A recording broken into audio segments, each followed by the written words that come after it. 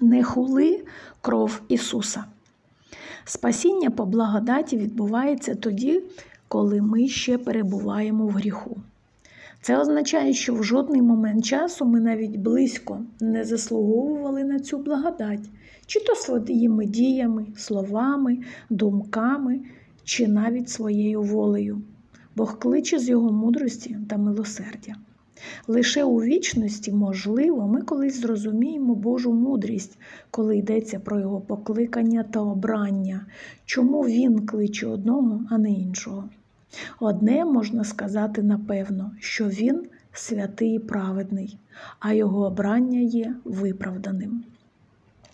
Також, будь ласка, давай прояснимо. Благодать Божа вчить святості. І тепер, коли ми були омиті і прощені кров'ю Ісуса, ми повинні перебувати в цій благодаті, уникаючи свідомого гріховного способу життя.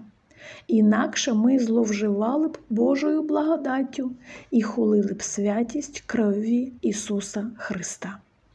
І якщо ми будемо продовжувати ображати Божу благодать, то прийде час, коли Бог відріже нас, і тоді ми відпадемо від Божої благодаті.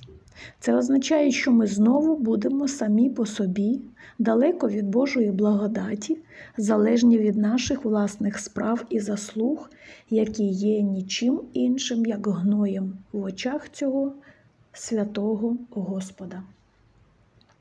Дорогі брат та сестра, навіть якщо ми всі недостойні Божої благодаті, навіть якщо тільки з милості ми були покликані, і тільки з милості ми все ще стоїмо на ногах, ми все ще відповідальні.